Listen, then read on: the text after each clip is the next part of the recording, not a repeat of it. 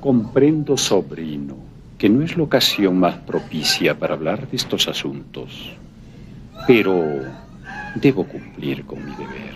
Sé a lo que se refiere, tío. Si lo sabe, hará bien en no frecuentar a mi hija. Se lo pido en memoria de mi difunta. Doña Manuela me apreciaba, señor. Yo amo a Silvia. Buena está mi hija para que le cambie usted el nombre y la fortuna. ¿La fortuna? No haga usted la ocasión más incómoda, sobrino. Bien sabe usted que aprecio su talento y hasta me simpatiza. Pero hace falta algo más que buenas intenciones para subir una responsabilidad. Señor, lo que me falta en fortuna sabré compensarlo con amor y devoción. Amor y devoción. No me haga reír. Me afrenta usted, señor. Bien sabe que somos de familia modesta, pero decente. Lo que nos falta en fortuna nos sobra en dignidad y hombría de bien. No blasfeme usted, joven, que además tiene fama de liberal y de masón. Si usted lo permite, señor, hablaré con Silvia sobre esto. ¡Qué atrevimiento, joven! Usted no hablará con nadie. Y mejorará en no frecuentar a mi hija. No faltaba más.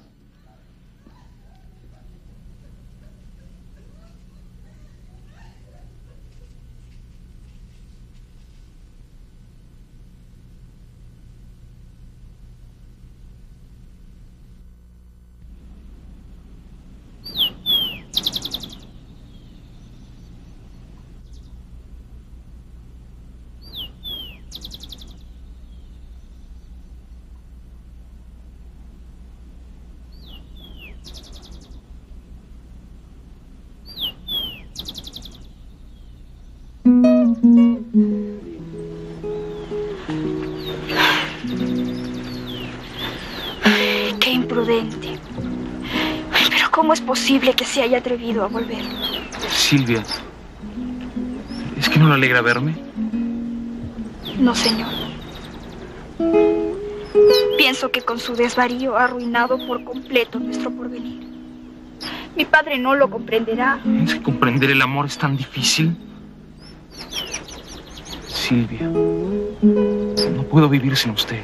Consiento en verlo solo por cortesía. Todo ha terminado entre nosotros. Silvia, ¿es que ha dejado usted de amarme? El amor nada tiene que ver con esto. Es mejor que me vaya. Adiós, Melgar. Silvia, Silvia. Aguarde. Miren quién está aquí. Volvieron las musas. Pues ya somos clérigo y medio en esta reunión de orates. Marianito, qué gusto de vérmelo por aquí.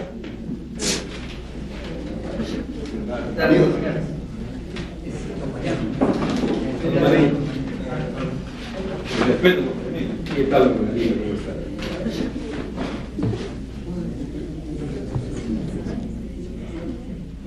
Ánimo, Melgar. Ya se he oído sordo de las chanzas. Que de veras nos alegra veros. Salud, poeta. Salud, amigos. Y no sean demasiado mordaces, que traigo el vino triste. A ver, doña Elodia, ese clarito de majes que está en su punto. Pues sí, amigo Melgar. Usted es el poeta de la patria que nace. ¿De la patria? ¿De qué patria? De la nuestra, de la única, de esta patria de la chicha y el yarabí, y de los picantes de Yanaguara. Me habla usted de una patria que no conozco, pues yo solo veo una colonia del imperio, donde hasta el aire y la dignidad son de patrimonio ajeno. Habla usted bien, pero tiene la lengua cerrada. Quiere tendernos un lazo para que los carlistas tiren de la cuerda. Pero se equivoca. Porque Francisco de Paula Quirós ya conquistó el derecho a ser libre. ¿Lo conquistó?